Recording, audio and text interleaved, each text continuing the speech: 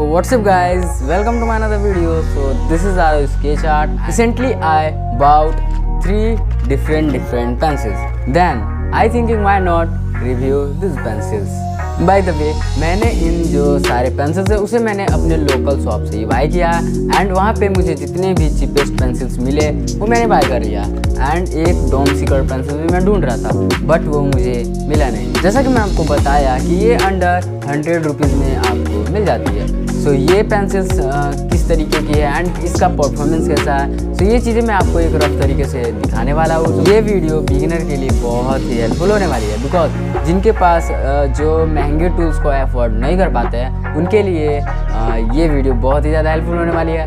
सो चलिए वीडियो करते हैं start without wasting any time let's get start the video तो पहले आते हैं अप्सरा पेंसिल्स सो अप्सरा पेंसिल्स की बात करें तो इसकी पैकिंग कुछ इस तरीके की देखने को मिल जाती है। एंड ऑल्सो इसमें आपको एक नॉर्मल इरेजर मिल जाती है जो कि अप्सरा ब्रांड की होती है।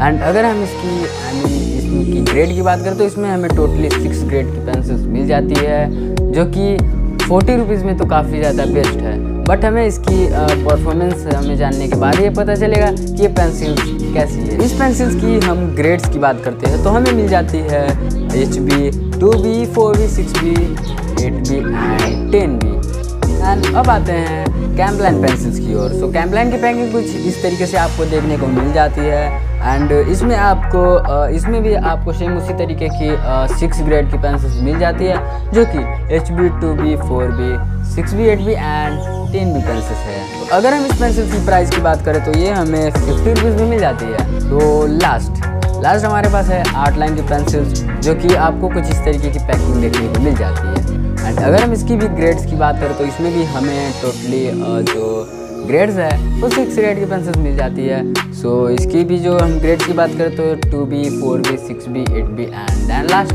ten तो ये सब पेंसिल्स मिल जाती है। एंड मैंने जो आर्ट लाइन पेंसिल है इसका मैंने स्पेशली रिव्यू रिव्यू वीडियो बना रखी है अगर आप चाहते हो तो देख सकते हो। एंड मैंने आर्ट लाइन से काफ़ी सारे ड्राइंग भी किए हैं। सो ये पेंसिल तो मुझे काफ़ी अच्छी लगती है। अब ये इन दोनों पेंसिल्स मेरे लिए न्यू न्यू है। तो अगर आप मेरे चैनल पर ना हो तो चैनल को सब्सक्राइब कर सकते हो।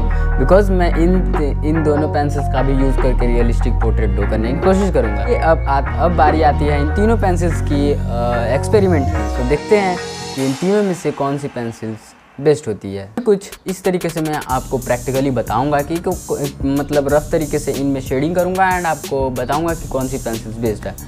सो so, कुछ इस तरीके से मैंने जो इसकी ग्रेड्स है वो मैंने लिख दिया है एंड कौन सी पेंसिल्स मैं कौन सी जगह पे यूज़ कर रहा हूँ उसे भी मैंने कुछ इस तरीके से लिख दिया है ताकि आपको अच्छी तरीके से पता चल सके।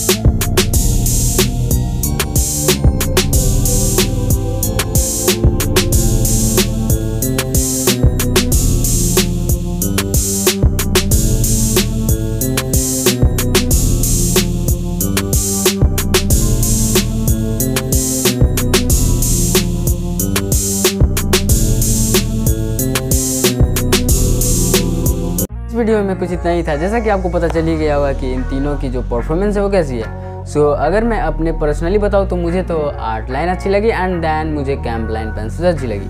सो so, अगर हम मतलब इन इन तीनों पेंसिल्स में स्मूथ की बात करें तो आर्ट लाइन पेंसिल्स काफ़ी ज़्यादा स्मूथ थी एंड दैन कैम्प लाइन थी एंड उसके बाद अप्सरा थी तो जिस तरीके से इन इनकी जो प्राइजेस है उस तरीके से ये स्मूथ टेक्चर्स देखने को मिलती है। होपफुली भी आपका डाउट क्लियर हो चुका होगा। सो वीडियो कैसा लगा? वीडियो अच्छा लगा तो वीडियो के लाइक एंड चैनल पर ना चैनल कर सब्सक्राइब मिलते हैं नेक्स्ट वीडियो पर तब तक के लिए do practice to learn bye bye take care